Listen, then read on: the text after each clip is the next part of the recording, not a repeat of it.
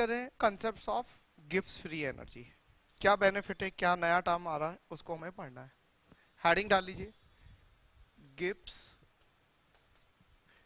Free energy change हमारे को यहाँ तक जाना है। ठीक है? हमें चेंज को पढ़ना है, लेकिन पहले हम बात करते हैं गिप्स फ्री एनर्जी चेंज हमारे लिए क्या होता है? डेल्टा ये किस तरह से वर्क करेगा, इसको समझो। गिब्स फ्री एनर्जी जी एक स्टेट फ़ंक्शन है तो लिख लीजिए। गिब्स लिखते जाओ। Gibbs free energy is a state function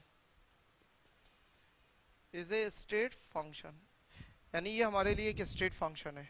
जैसे और स्टेट फ़ंक्शन होते हैं। तो g की वैल्यू होती है h minus T S state function minus state function become a another state function या सुनो तो ये भी स्टेट फ़ंक्शन है, ये भी स्टेट फ़ंक्शन है।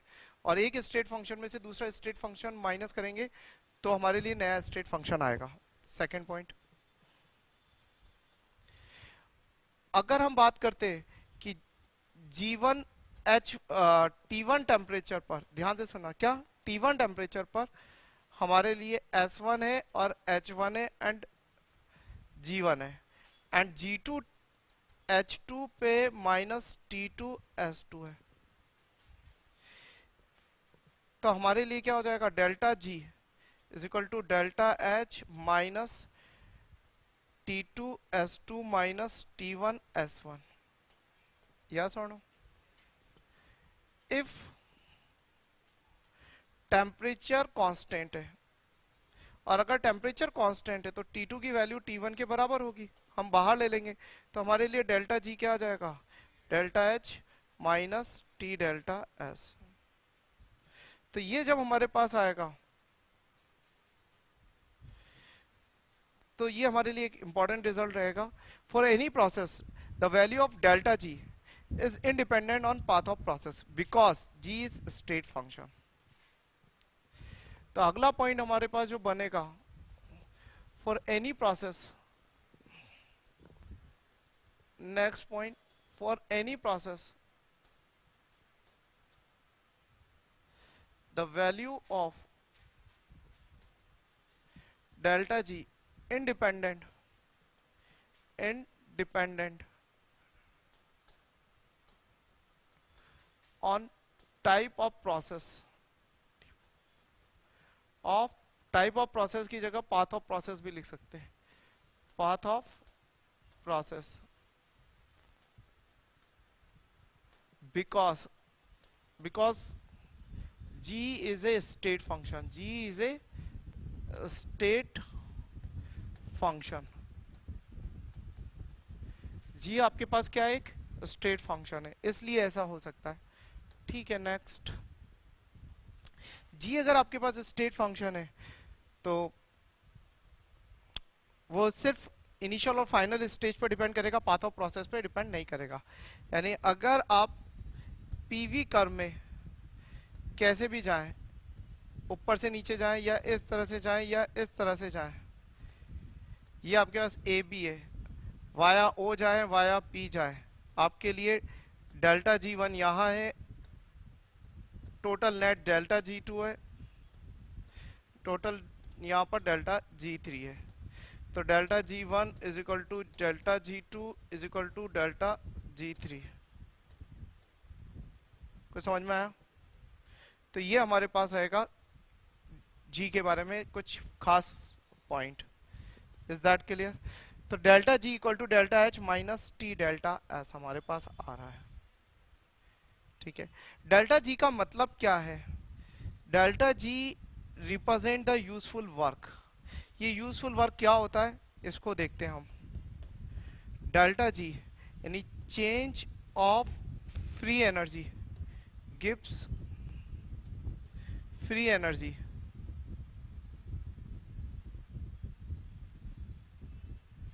show the useful work.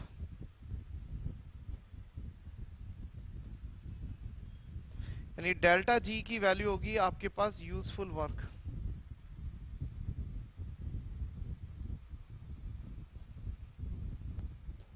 ये आपके पास डेल्टा जी होगा।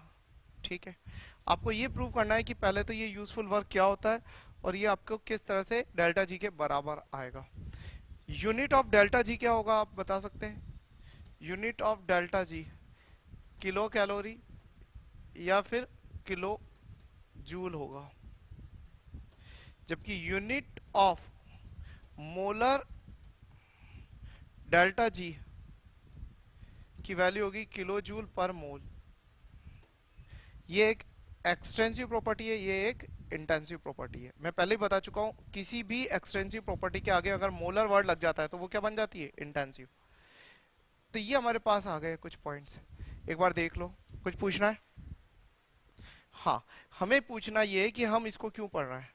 इससे हमारे को थर्मोडाइनमिक्स में क्या फ़ायदा होगा? चलिए देखते हैं।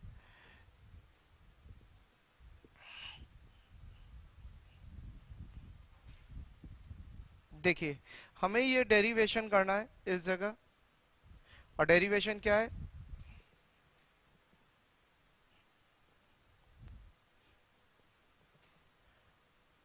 हेडिंग रहेगी हमारी डेरिवेशन की।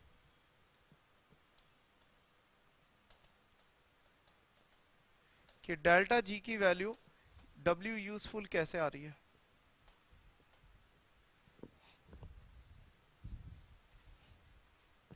डेल्टा जी की वैल्यू डब्ल्यू यूजफुल कैसे आ रही है? शुरू करें।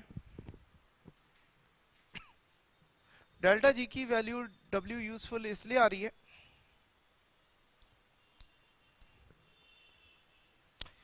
क्योंकि हम इतना तो जानते हैं delta G equal to delta H minus T delta S बोलो यस और नो प्रोसेस आइसोथर्मल तो हो ही गया, क्योंकि टेम्परेचर कांस्टेंट है।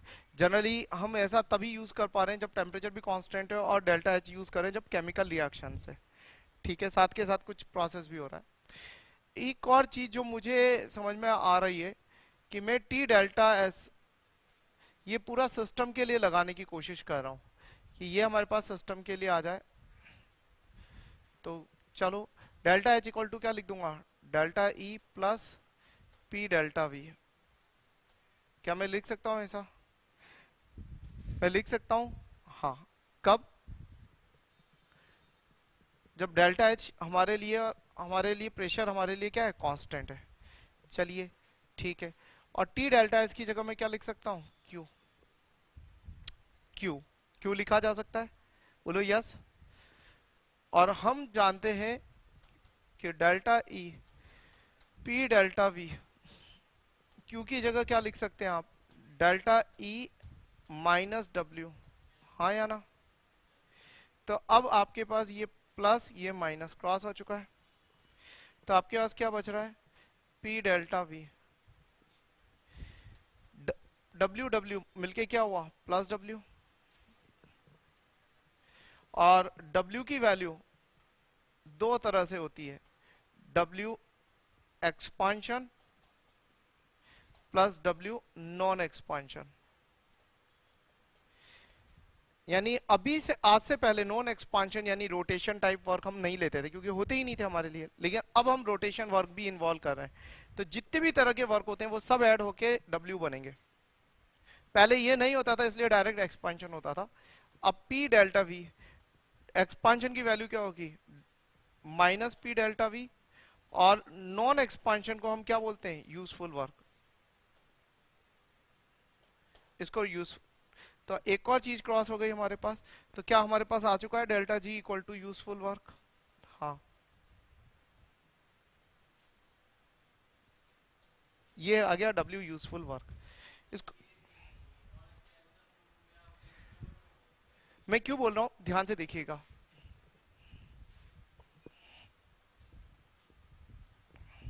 ये तो हमारे लिए हो रहा है पॉइंट मैं जब वर्क की बात करता हूँ तो मुझे इंटरनल कंबशन इंजन याद आता है आईसी इंजन जो कि आपकी किसी भी बाइक या स्कूटर का इंजन है, वैसे समझ लीजिए।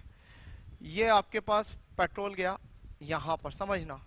ये पेट्रोल है, और मान लीजिए हंड्रेड कैलोरी हीट अंदर दे रहा है। पक्का? जिससे ये पिस्टन बाहर की तरफ़ वर्क करेगा मूव करेगा, किस तरफ़? बाहर की तरफ़। और बाहर की तरफ़ मूव कर रहा है तो एक्सपांशन हो रहा है। लेकिन साथ के साथ मैंने इसके साथ कुछ इस तरह का गियर बॉक्स लगा रखा है पुली लगा रखी है या रोटेशन लगा रखा है गियर लगा रखा है, जिससे ये मूव करे और साथ में ये रोटेट करे, जिससे क्रेंक शाफ्ट रोटेट करे और क्रेंक शाफ्ट से हमारे पास क्या हो जाती है? व्हील शाफ्ट अटैच होती है। तो ये जो व्हील शाफ्ट रोटेट होती है, ये व्हील हो गया हमारा। तो हमारे को दो तरह के वर्क मिल रहे हैं। एक डब्ल्यू एक्सपांशन और ये तभी आगे बढ़ेगा जब ये घूमेगी, और ये तभी घूमेगी जब ये व्हील घूमेगा। तो यहाँ पर जो व्हील को रोटेट करने में काम आ रहा है तो ये हमारे रोटेशन हो गया। और यही हमारे लिए यूजफुल है।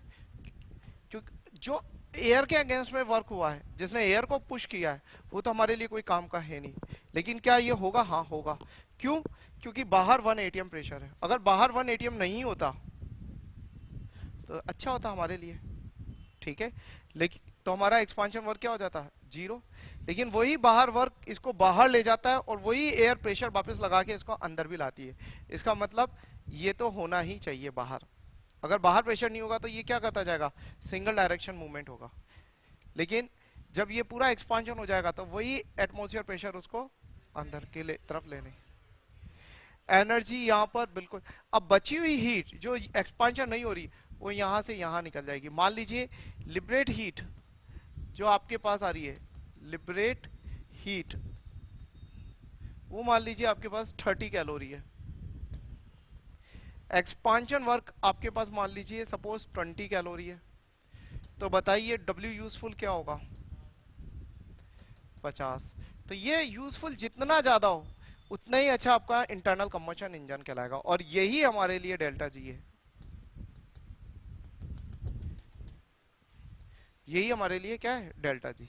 तो डेल्टा जी हमारे लिए क्या है? वो वाला काम है जो एक्सपांशन में नहीं गया है, जो रोटेशन में गया है, और वही यूजफुल हो रहा है। कुछ समझ में आई बात? तो ये है हमारे लिए डेल्टा जी। इसलिए डेल्टा जी हमारे लिए यूजफुल वर्क है। और delta G in electric cell in electric cell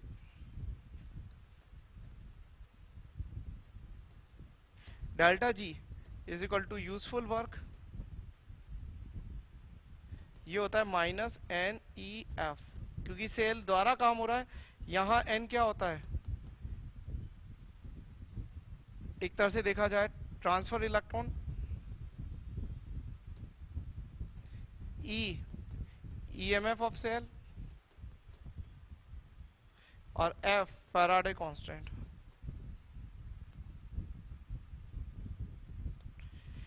ये वोल्ट में लेना है आपको। फेराडे कांस्टेंट की वैल्यू होती है nine six five double zero nine six five double zero coulomb तो ये जो कुलॉम और वोल्ट है, ये मिलके क्या बनाएँगे आपके पास? वर्क एनर्जी जूल जूल ही आएगा। किलो जूल में करना है तो डिवाइडेड बाय थाउज़ेंड कर दीजिएगा बाद में। पक्का? तो ट्रांस ट्रांसफ़र ऑफ़ इलेक्ट्रॉन या आप ऑक्सीडेशन स्टेट भी देख सकते हैं। कोई दिक्कत है समझने में? बस बहुत है, यही चीज़ें मुझे आपको समझानी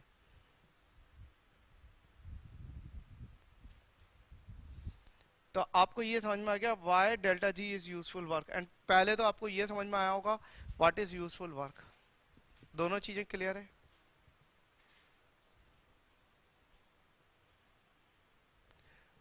आगे।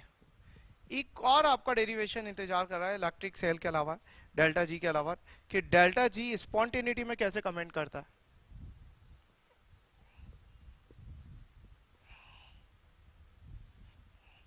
हटा दिया जाइए।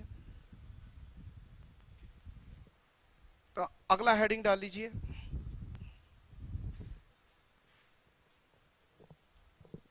हेडिंग रहेगा gives free energy change and spontaneity gives free energy change and spontaneity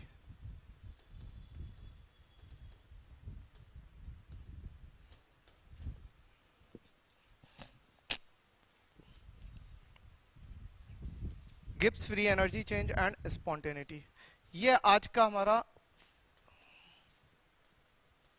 एक और इंपॉर्टेंट पॉइंट है शुरू करें gives free energy change and spontaneity कैसे बता रहे हैं? हम जानते हैं we know that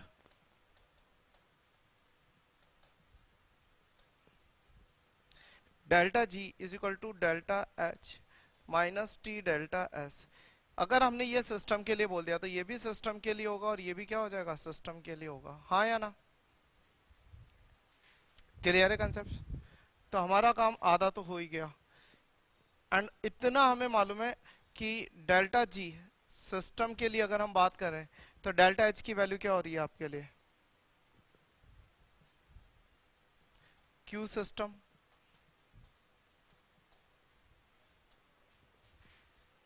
कोई दिक्कत? चलो, बहुत अच्छी बात है। Delta G system. Q system को माइनस सराउंडिंग लिख सकते हो आप?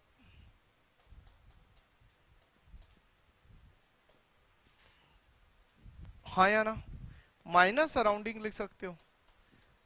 माइनस टी डेल्टा सराउंडिंग लिख सकते हो।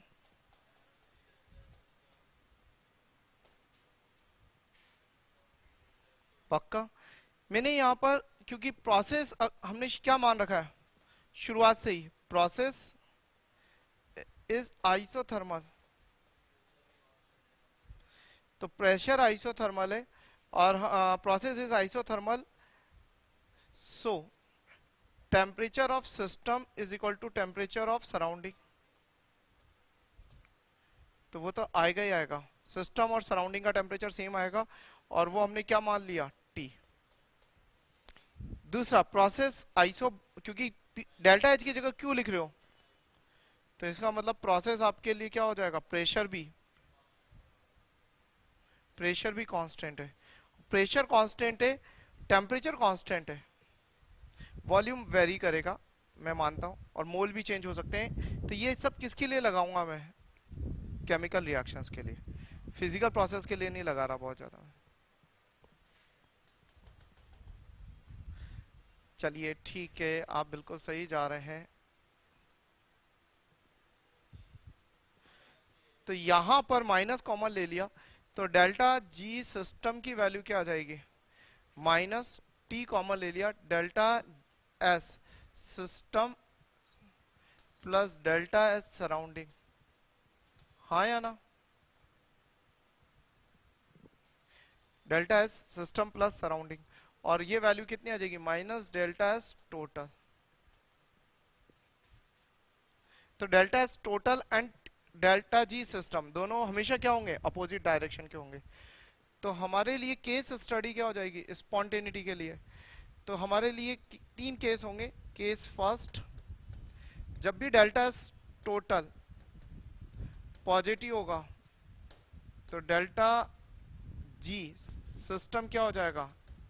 नेगेटिव और डेल्टा टोटल जब टोटल जब भी पॉजिटिव होता है प्रोसेस क्या होता है? स्पॉन्टेनियस।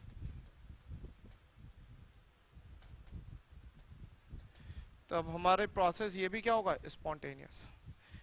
केस सेकंड, जब डेल्टा टोटल नेगेटिव होता है तो डेल्टा जी सिस्टम क्या होगा? डेल्टा एस टोटल नेगेटिव होता है, डेल्टा जी सिस्टम क्या हो जाएगा? पॉजिटिव। और नॉन स्पॉन्टेनियस और case third delta S total अगर ज़ीरो है तो डेल्टा जी सिस्टम भी इक्विलिब्रियम में ज़ीरो रहेगा और इक्विलिब्रियम में रहेगा।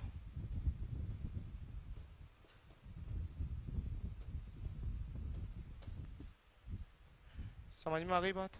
तो ये एक बहुत बड़ा कंसेप्ट है जो आपके लिए काम करेगा इससे क्या फ़ायदा है? हमें सिस्टम और सराउंडिंग की डेल्टा एस इंडिविजुअल निकालने की ज़रूरत नहीं है। हम डायरेक्ट भी बता सकते हैं। तो एप्लीकेशंस हमारे लिए सबसे बड़ी ये है कि by the value of delta G we directly के से that spontaneity of system without calculating system and surrounding individually तो ये बहुत अच्छा है। Without calculating delta S of system and surrounding individually आ गई बात समझ में? तो ये लिख लें आप। देखिए, बात कर रहे हैं Gibbs free energy change and spontaneity ये भी हमारे लिए बहुत अच्छा एक टॉपिक है। हम इसके लिए टेबल बना लेते हैं जिससे हमें पता चले स्पॉन्टेनिटी कैसे निकालेंगे। बहुत फास्ट ठीक है? तो टेबल किस तरह से बन रही है? आप खुद सोचिए, सबसे पहले क्या चीज़ हमारे लिए चीज़ रहेगी? सीरियल नंबर ये सीरियल नंबर फिर हमारे लिए रहेगा डेल्टा एच ये हमने डेल्टा एच ले लिया। फिर हम थोड़ी सी जगह छोड़ रहे हैं मर्ज़ी के लिए। फिर ले रहे हैं टी डेल्टा एच एक साथ। फिर ये टी डेल्टा एस हमने ले लिया। फिर हम बात करें डेल्टा जी कि डेल्टा जी कैसा रहेगा? फिर हम रह, रखेंगे स्पॉन्टेनिटी स्पॉन्टेनिटी है नहीं है। और फिर हम एक रिमार्क ले लेते हैं।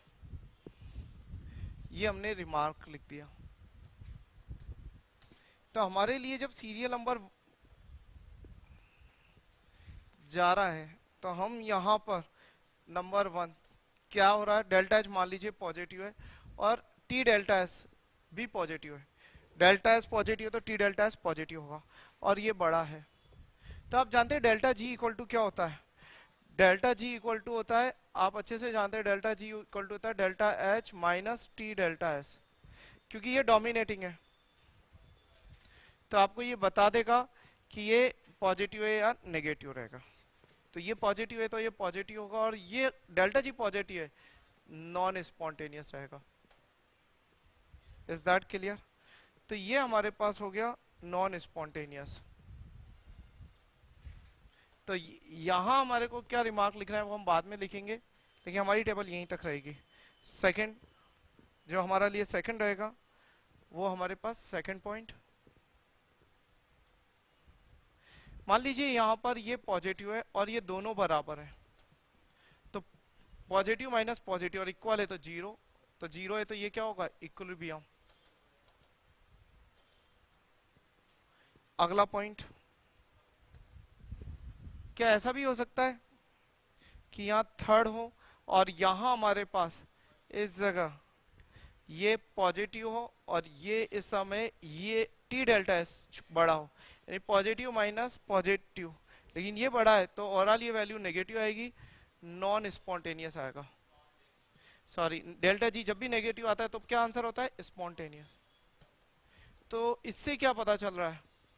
इससे हमें ये पता चल रहा है, अभी तक का रिकॉर्ड जो हमने करा है, इस लेवल से लेके इस लेवल तक।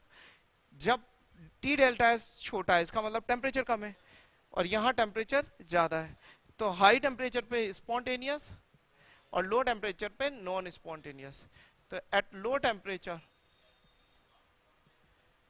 temperature reaction is non spontaneous and at high temperature.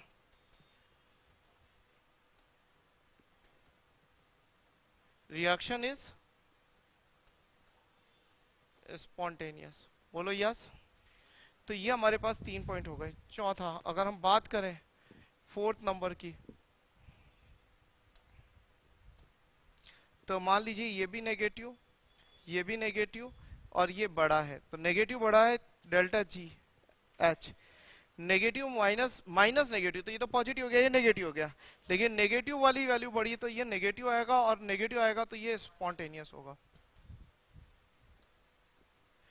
आगे फिफ्थ नंबर फिफ्थ नंबर पे हमारे पास क्या आ जाएगा? अगर हम बात करें तो ये हमारे पास हमने क्या मान लिया? ये हमने मान लिया नेगेटिव और ये भी नेगेटिव लेकिन इस बार ये बड़ा है। तो नेगेटिव नेगेटिव करके ये क्या हो जाएगा? पॉजिटिव तो वैल्यू क्या आ जाएगी? पॉजिटिव पॉजिटिव आ जाएगी तो ये हमारे लिए क्या हो जाएगा? नॉन स्पॉन्टेनियस और नेक्स्ट हमारे पास और रहेगा। एक और होगा इक्विलिब्रियम तो नेक्स्ट हमारे पास जब बनेगा। तो यहाँ हमारे पास सिक्स नंबर पे आ रहा है।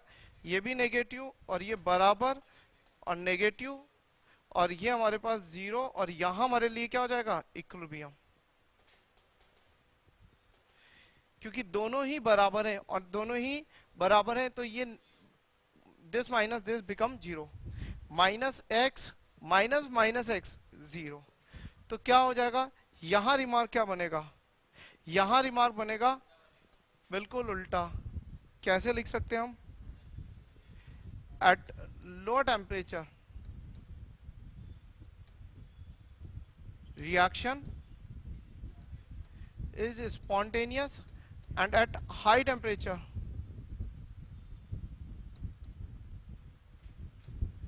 Reaction is non spontaneous next अगर हम बात करें, अब हमारे पास हो गया कौन सा नंबर का? सेवेंथ एट्थ नाइन तीन प्रोसेस एक साथ ले रहे हैं। ये हमारे लिए नेगेटिव है, ये हमने पॉजिटिव लिया। यानी नेगेटिव और फिर ये पॉजिटिव तो negative minus positive overall value हमेशा क्या रहेगी? नेगेटिव भले ही ये बड़ा हो, बराबर हो या छोटा हो, तीनों ही केसेस में हमारे पास, तीनों ही केसेस में हमारे पास ये वैल्यू क्या आ जाएगी? नेगेटिव और ये स्पॉन्टेनियस आएगा या नॉन स्पॉन्टेनियस स्पॉन्टेनियस स्पॉन्टेनियस और इससे मैं बोलूँगा ऑलवेज स्पॉन्टेनियस ऑलवेज स्पॉन्टेनियस यानी एक ऐसी रिएक्शन जिसके लिए डेल्टा एच नेगेटिव है और टी डेल्टा एस क्या है? पॉजिटिव है. वो रिएक्शन हमेशा क्या होगी? स्पॉन्टेनियस तो ये हमारे पास सेवन एट नाइन रहा. अब टेन इलेवन ट्वेल्व केस एक साथ है. ये मैं ले रहा हूँ पॉजिटिव और ये ले रहा हूँ मैं नेगेटिव छोटा हो, बड़ा हो, बराबर हो. तो मान लीजिए पॉजिटिव माइनस माइनस तो हमेशा क्या रहेगा ये? पॉजिटिव तो ये हमेशा ही नॉन स्पॉन्टेनियस रहेगी। ऑलवेज नॉन स्पॉन्टेनियस तो ये हमारे पास एक टेबल है जो स्पॉन्टेनिटी को बता रही है। आप चाहे तो पूरी लिख सकते हैं, अच्छे से। समझ में आ गया? लिखें इसको। तो ये स्पॉन्टेनिटी को बता रही है आपके। कोई भी रिएक्शन है जिसका टेम्परेचर पता चल जाए तो हमारे पास हम डेल्टा एच भी बता सकते हैं, डेल्टा एच भी बता सकते हैं, टी भी बता सकते हैं, दिया हुआ है, डेल्टा एच भी दिया हुआ है, डेल्टा एच भी दिया हुआ है। चलिए, यहाँ एक ऐसा टेम्परेचर आएगा या नहीं आएगा इस जगह, जिसके हाई टेम्परेचर पे तो स्पॉन्टेनियस होगी और जिसके लो टेम्परेचर पे क्या हो जाएगी? नॉन स्पॉन्टेनियस तो वो टेम्परेचर को एक स्पेसिफिक टेम्परेचर बोलेंगे, या इक्विलिब्रियम टेम्परेचर बोल सकता हूँ मैं। तो इक्विलिब्रियम टेम्परेचर बोलना ज़्यादा आसान रहेगा, जिसके ऊपर स्पॉन्टेनियस रहेगी जिसके नीचे नॉन स्पॉन्टेनियस तो उस टेम्परेचर की वैल्यू क्या होगी? टी इक्विलिब्रियम की। Delta H upon delta S क्योंकि यहाँ पर इक्विलिब्रियम के लिए दोनों वैल्यू क्या आएगी? ये डेल्टा जी की वैल्यू क्या हो जाएगी? Zero for equilibrium delta G zero और डेल्टा जी ज़ीरो हो जाएगा तो दस। तो ये चीज़ तो यहाँ पर भी होगी। नहीं delta H and delta H independent on temperature बेटा रिएक्शन चेंज होगी तो वेरी करेगा। सेम रिएक्शन है तो डेल्टा एस और delta H at given pressure और temperature is constant given pressure and मतलब जो भी आपके चीज़ें टेम्परेचर तो कांस्टेंट है। मोल चेंज हो रहे हैं तो उसके साथ कोई भी ऐसा चेंजेस नहीं है। अब गिवन रिएक्शन के लिए ये चीज़ फिक्स है। डेल्टा एस की वैल्यू होगी, लेकिन डेल्टा एस एक अमाउंट फिक्स रखेगा एक पर्टिकुलर रिएक्शन के लिए। मैं ये नहीं कह रहा कि एस फिक्स होगा डेल्टा एस फिक्स होगा। S is not a constant लेकिन डेल्टा एस कांस्टेंट बनेगा गिवन रिएक्शन के लिए। एंट्रोपी चेंज होगी लेकिन एंट्रोपी चेंज कांस्टेंट बन जाएगी। इज़ दैट क्लियर तो सेम यहाँ पर भी हमारे लिए टी इक्विलिब्रियम टेम्परेचर हम वैसे ही निकालेंगे। Delta H upon delta S इस टेम्परेचर के नीचे रिएक्शन स्पॉन्टेनियस होगी यहाँ पर और ऊपर नॉन स्पॉन्टेनियस क्योंकि हाई टेम्परेचर पर ये रिएक्शन नॉन स्पॉन्टेनियस है। हाँ या ना? क्लियर है कंसेप्ट लिखें इसको।